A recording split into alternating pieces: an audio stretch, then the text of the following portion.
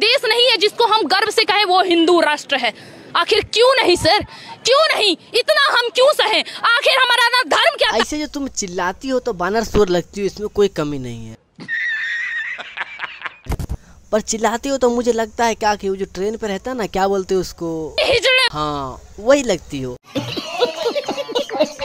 तो क्या ये बात सही है कि तुम वही लगती हो? जरा बता देना पब्लिक हाँ बिल्कुल बिल्कुल आप सही कह रहे हैं।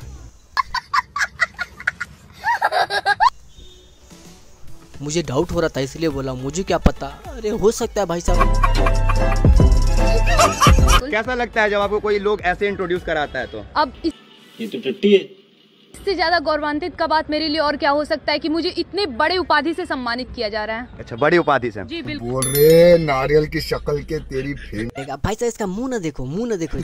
मुँह देखो इतना सा। बाल ना देखो। सा बाल देखो इसकी फेन इससे बड़े बड़े तो भेड़ के भाई साहब इसको आज अच्छा मीडिया मिल गया है। अभी इसका रिलाई करेगा अभी प्यार से बात कर रहा है उसके बाद इसका रिलाई करेगा। देखोगे ना जरा मज़ा आ जाएगा।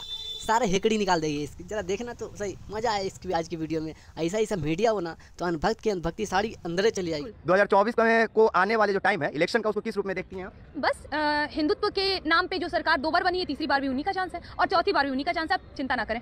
क्यों हिंदुत्व की सरकार ही बननी चाहिए? हम हिंदुओं को ऐसा क्या बेनिफिट मिल गया? आपको क्या लगता है? तो क्या अफजल की सरकार बने? नहीं बिल्कुल नहीं। हिंदुत्व की क्यों नहीं बननी चाहिए? आप क्या चाहते हैं हमारे देश में बाबरी बापी रहे? आखिर क्यों रहे मस्जिद? मंदिर बनाओ। क्या बोला तूने? बापी रहे? आखिर क्यों रहे मस्जिद? मंदिर बनाओ। सब ये कह रही है कि आखिरकार क्यों रहे मस्जिद मंदिर बना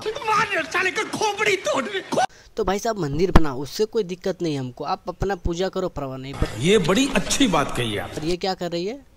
आखिरकार क्यों रहे मस्जिद? तो मैं इसको एक बात कहना चाहूँगा जरा सुनिएगा। आशा लिख रहा यही छोड़ दूँगी जितने हैं तुम सारे का सारे।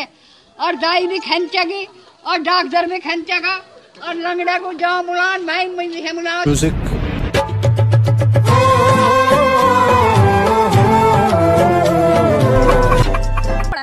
मजार मस्जिद बना के ये पूजा करते हैं। सबसे घिन्ना बात ये है ना कि हमारे देश के दोगले हिंदू वहाँ पे जाके मत्था टेकते हैं। मुझे दिक्कत है इन चीज़ों से। अच्छा अगर मान लीजिए कि हम किसी मस्जिद के पास जाके मत्था टेकते हैं तो क्या हम दोगला हिंदू हो गए?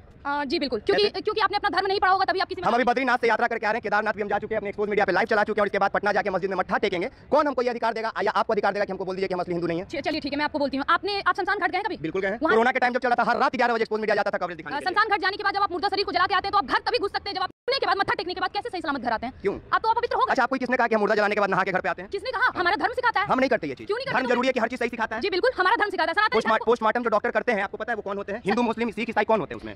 डेथ डेथ डेथ हो चुका होता है जिस इंसान का उसका पोस्टमार्टम जो डॉक्टर करते हैं वो हिंदू होते हैं मुस्लिम होते हैं सिख होते हैं ईसाई होते हैं आपको पता है? आपको पता है कि इस देश में जितने भी उच्च पद हैं वो डॉक्टर ही होते हैं और अगर गलती से वो मुसलमान डॉक्टर हुए तो गलती से। गलत एक मिनट एक मिनट एक मिनट मुस्लिम एक मिनट डॉक्टर कोई गलती से बनता है? नहीं नहीं नहीं गलती से मैं मैं धर्म की बात कर रही हूँ। नहीं नहीं डॉक्टर डॉक्टर बनना धर्म कहाँ से आ गया? अगर मैं हिंदू हूँ मैं अनपढ़ रह जाऊँगा मैं डॉक्टर बन जाऊँगा मैं इंजीनियर बन ये फंस गया सीएम जाऊँगा क्या? प्रोफेसर अफजल गुरु का नाम सुना है नहीं सुने आप बताइए। अफजल हम शर्मिंदा है तेरे कातिल ज़िंदा है यही नारा लगा था जेएनयू में। और वो वो मुसलमान हमारे देश का प्रोफेसर था वो मुसलमान था हम उसको जिंदाबाद बोल रहे हैं। हम उसको जिंदाबाद बोल रहे हैं। क्या हर हिंदू उसको जिंदाबाद बोलता है? प्रोफेसर था। रतन जी का नाम सुनिए रतन जी का नाम सुनिए। रतन जी का नाम सुनिए वो भी प्रोफेसर थे उनको भी जेल जाना पड़ेगा तो दिक्कत यही वो। हिंदू थे उनको जेल जाना पड़ेगा क्यों? जेल वही हिंदू जाएँगे और ऐसे बात वही हिंदू करेंगे जिन्होंने अपना धर्म चले गांधी जी भी जेल गए थे। गांधी जी की तो बात आप मत करिए। गांधी गांधी सब करे गांधी बने ना कोई दो थप्पड़ लगे गाल पे से होए हाँ। गांधी की बात मत अच्छा एक बात गोडसे गोडसे को मानती है या गांधी को मानती है? ये तो आप डबल सवाल पूछ रहे हैं। नहीं जब तक हमारा इसलिए क्योंकि गांधी गांधी सब करे करे ना गांधी जैसा कोई आपने बोला। आप- मानते हैं अहिंसावादी? किनको? नहीं क्योंकि हम एक पत्रकार हैं हम ना हिंदू मानते हैं ना मुस्लिम मानते हैं ना हम धर्म मानते हैं हम एक जेनविन इंसानियत को मानते हैं। आप किसको मानती और इंसानियत तो हमारा सनातन धर्म भी सिखाता है। हाँ। आगे बोलिए। अच्छा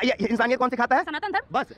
एक बस, बस। एक मिनट। हाँ। हमसे आप काउंटर सवाल करिए बिल्कुल करिए। अच्छा एक बात बताइए गुरुद्वारा में रोज लंगर लगता है आपको पता है? आप पहले सवाल आप सवाल पूरा करने देंगे। और सवाल नहीं, मैम, आप जवाब और उसी गुरुद्वारा और उसी गुरुद्वारा के नहीं। पढ़ने की ज़रूरत है अगर नहीं पढ़ा है तो हाँ। पहले अपने धर्म से सब हो? अपने धर्म को मैं ये पूछ रहा हूँ कि धर्म महत्वपूर्ण है या इंसानियत मुझे हो? मुझे ये पूछना है कि धर्म धर्म धर्म हो? मज़बूत धर्म धर्म धर्म ज़रूरी है या इंसानियत। धर्म ज़रूरी है या। इंसानियत धर्म ज़रूरी है या इंसानियत अरे आपको धर्म नहीं ज़रूरी भाई है या साहब? इंसानियत आपको नहीं पता नहीं नहीं हम ये पूछ रहे हैं कि धर्म ज़रूरी है या इंसानियत भाई साहब मौका देखते ही खुशबू पांडे ने पतली गली से निकल दिया अगर ऐसा ऐसा मीडिया रहे ना तो बदबू पांडे अपने आप सुधर जाएगी माने खुशबू पांडे, ऐसे ही बदबू पांडे है, टेंशन नहीं लो। सब हमारे वीडियो में एक भाई ने कमेंट किया था, बोला था, इसका नाम है खुशबू, पर ये फैलाती है बहुत बदबू।